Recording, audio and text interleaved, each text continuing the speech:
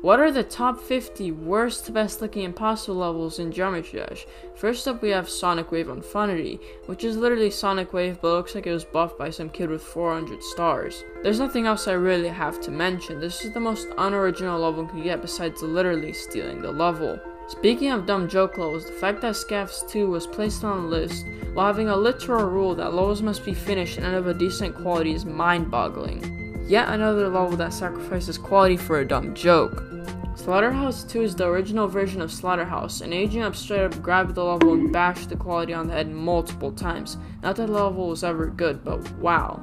Joke Submission is at number 46th on the list and looks very similar to his other work, Arcturus. No comment on this one really, there are many more joke and bustle levels ahead in the beginning of the list. Let's keep going. Scavs 2 is another typical bland wave challenge level. It's not a horrible level, but there's nothing good about the level. The decoration is very monochrome and static, and the ending is terribly rushed. The slow moving objects do remind me of early 2.0 levels though. Ultimate Silent Mix isn't the best, in the nicest way possible. The level's quality keeps flipping drastically, and the merging isn't even that good, which is the number one job of a level mix. The decoration isn't that original as well, since it's a level mix. The thing that's funny though is how there are quite a few level mixes in the map packs, and the quality is as comparable as a map pack level. Some things never change. The Hell Heaven structuring is pretty cool, but the decoration is just not that good. I think the level would definitely be better off as a simple 1.0 layout, not the garbage fest that most core levels are. There's also a pretty funny vibe to the level, especially the ending, which I would show but it has an image of my wife, so I'm currently gonna file a copyright strike on the level. The structuring is nice because it isn't impossible 4 times speed, but the 1.0 decoration feels very lacking and isn't used to its fullest potential. The concept of every single jump being a frame perfect is a weird concept, I have to say, at least it's somewhat original. I don't have much else to say though, the decoration is pretty bare bones. On a second, there's not much to say about this level. The atmosphere is there, but there's too much copy and paste throughout the whole level, and it feels extremely repetitive. Instead of serving prison sentences to criminals, they should just let them play this level for eternity and absolutely suffer. The decoration is fine, but the fact that it's copy and pasted hundreds of times completely ruins it.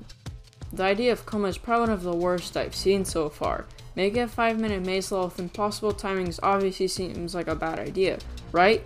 Well, apparently no, since this is 9th on the list. Thanks is just an average mediocre 9 circles level with a slightly weird color scheme. There are gonna be a lot of 9 circles levels on the lower part of this list. A lot. Nightmarish is another one of those forgettable 9 circle souls. Seriously, what's up with the 9 circles trend in impossible levels? CXLM um, is sadly yet another one of those wave spam and straight fire levels. The pulses are pretty nice here, but it feels like there's a lot of wasted potential as the designs feel pretty bland, along with the gameplay. Mediocre level. If there's one word to describe Silent Burzum Club, it's messy. Also, the first part completely rips off Silent Concept, very obviously, so that knocks some points away from me. The troll face at the end is kinda hot though, not gonna lie. I honestly don't even know if I can classify this as a remake as some parts feel literally the exact same. The update, which starts halfway through the level, consists of spamming a bunch of messy effects at the drop to clutter up the screen. I thought that people learned from Downbass that spamming fire on the screen in 9 circles all was a bad idea, but I guess not. Not a fan. The Hell Conjurer has some really, really lazy decoration. Ending part is nice, but the level overall feels very loosely put together. At least it has some decent atmosphere, but yeah, it's nothing special. If you thought an impossible level couldn't be any more bland, here's this level. Wave spam, strafe fly, and monochrome color scheme makes this level feel super forgettable. Honestly, the colors in Price Circle aren't that bad for a 9 circles level. Is that wrong, 3D? This is an absolute disgrace. I'm ranking this a negative 100 out of 10. Horrible. Disgusting. High level is quite literally one of the most unoriginal levels out there, but hey, at least it's decent quality. Speaking of 9 circles levels, high level is basically the same thing as high level but with a different color scheme, so I'm gonna rank them in the same spot. The blue glow in the wave part is pretty cool though. Yet again another 9 circles level on this list, Hyperphobia. The designs here are decent, but the colors do not work at all and feel very mushy. Some of the decoration feels messy and cluttered as well. Silent Skrillex is a very outdated looking 9 circles level with unusual deco choices. Well, what do I say, Chaotic Circles 11 is another 9 circles level. Told you that there would be a lot of 9 circles levels on this list. It's pretty obvious to tell here that aging didn't treat this level very well. It reminds me a lot of early 2.0 and doesn't really have anything special to it.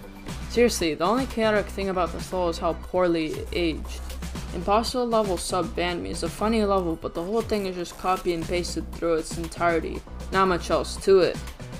I'm starting to find a lot of these impossible levels are falling under this category of being a complete joke. I've never really been a fan of dark black and white monochrome levels and Minus Club is not an exception. I don't have much else to say, this is just forgettable. The designs in Singularity actually have a lot of potential, Sadly, the level feels very dead and lacks a lot of common stuff such as pulses and movements. Pretty forgettable. The atmosphere in Wistfully is pretty nice here, but I've seen so many black and white levels on this list that the effect has kind of worn off me here. Despite this, I do like the Shortwave at 65% and wish it was longer.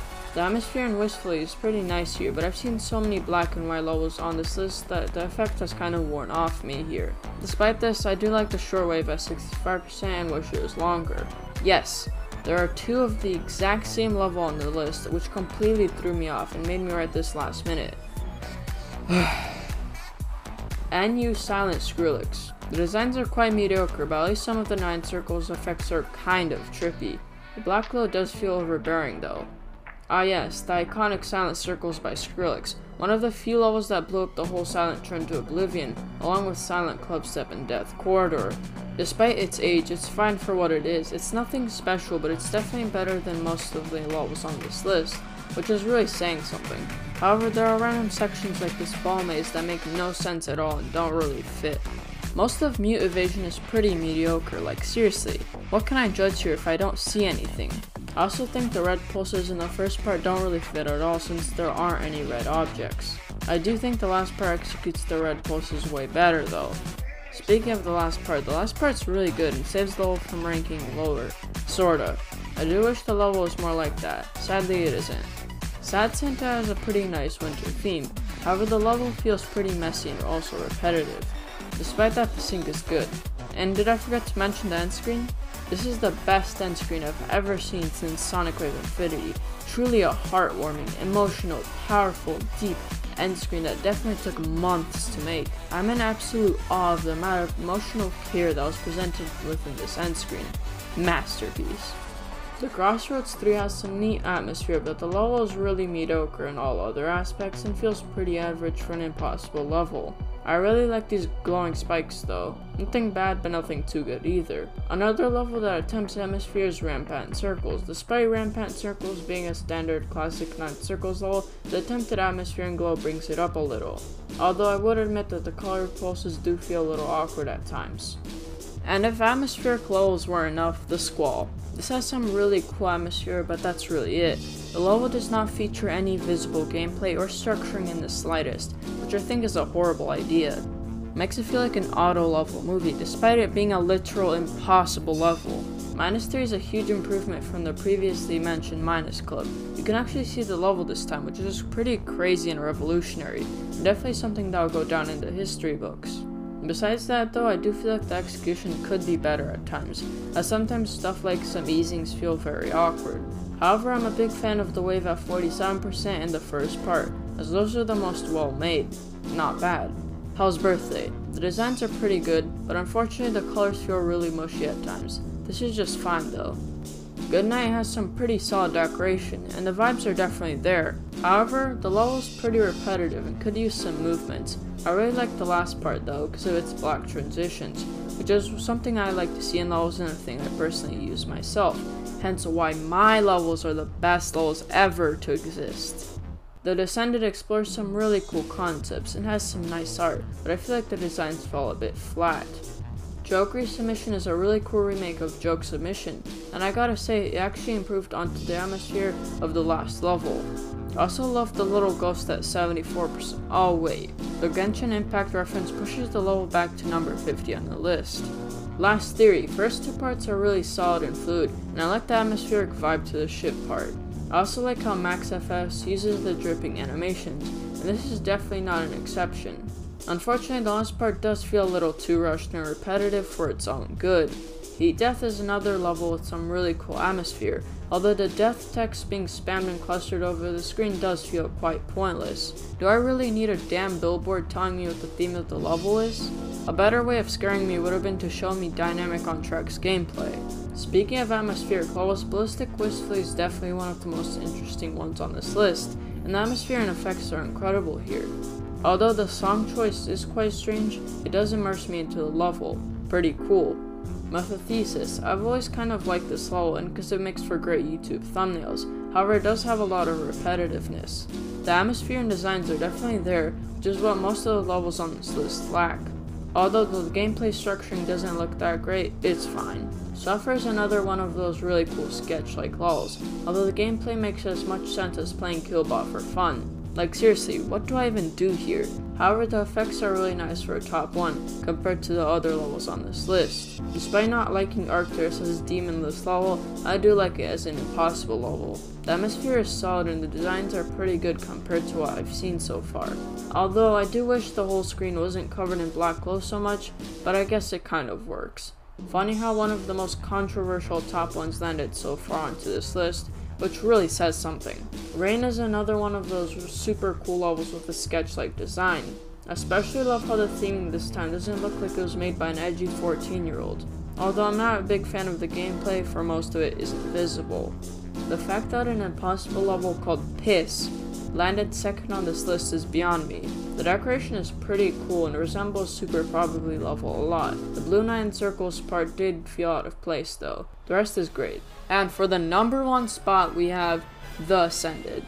The Ascended is without a doubt definitely the best level on this list. The glow you should cheer is really well done and carefully crafted. I don't really have anything negative to say about this level as it does everything really well. Especially this Hot Beast, which I would copyright strike the level for showing my wife, but the level is too good for that.